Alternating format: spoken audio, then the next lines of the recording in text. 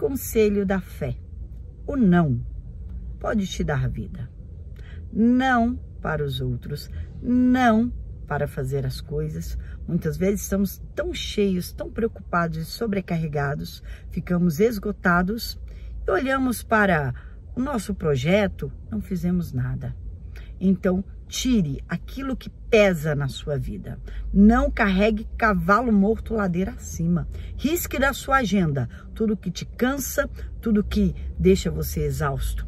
E você vai ter qualidade de vida e vai ver que a sua vida vai andar.